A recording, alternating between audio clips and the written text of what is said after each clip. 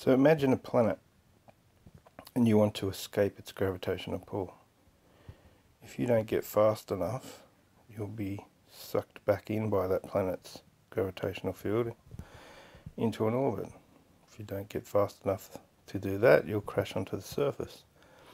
Even if you threw the ball or travelled straight up in the air, if you didn't have enough speed, you'd eventually come back. So we want to do is work out when you get enough energy just to leave that planet's gravitational field and keep going. At that point, so way out here, the potential energy and the kinetic energy, remember potential energy, equals minus g m1 m2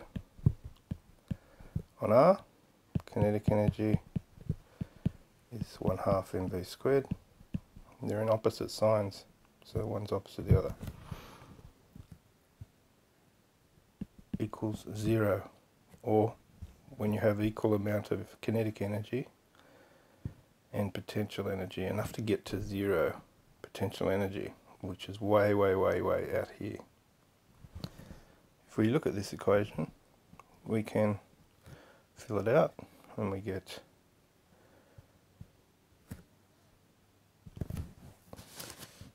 v, where are we, half mv squared equals g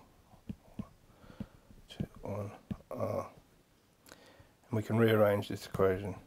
This is our object. If we make one our object, they cancel. Um, the half, we multiply this side by 2, we have to do the same over here. So we end up with v squared equals g m2 times 2 divided by r. This is the velocity that's needed. So it's called the escape velocity.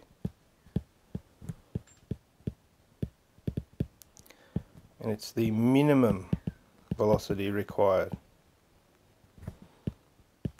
to leave a planet's or a sun's or an object's gravitational influence or gravitational field of influence.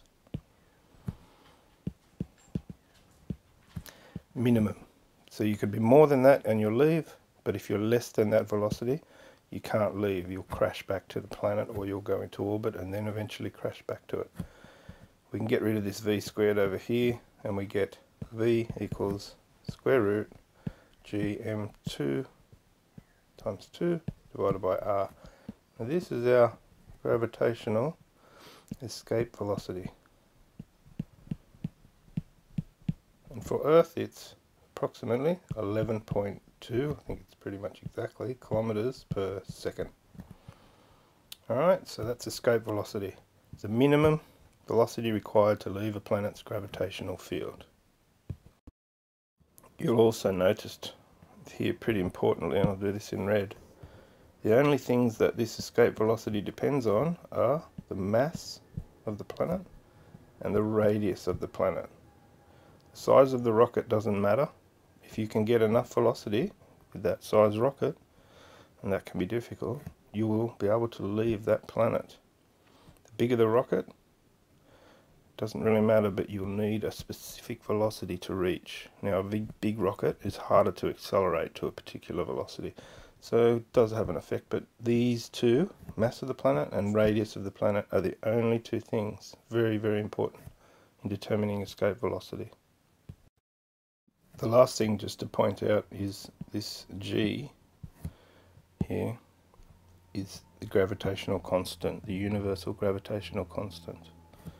6.67 times 10 to the minus 11 and it's required in this equation and it comes from our potential energy equation. Remember this is kinetic, this is potential. Okay, thanks.